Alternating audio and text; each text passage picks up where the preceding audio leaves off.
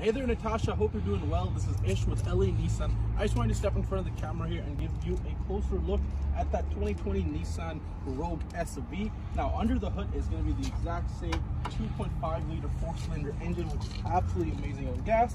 All your central fluids near the side there. And then, of course, all your safety features behind that Nissan logo there, like a front collision warning with pedestrian detections. Now, the SV is going to add those fog lights there as well. And, of course, wait for it wait for it, the remote starter. On the side here, you're gonna get those aggressive 18 inch all-season tires. Now this guy does come with intelligent entry, so all you gotta do to unlock the door is press that button once and it unlocks.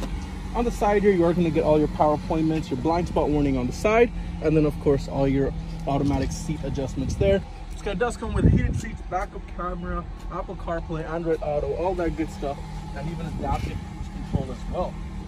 In the back, nothing different than the uh, special edition other than when you look up.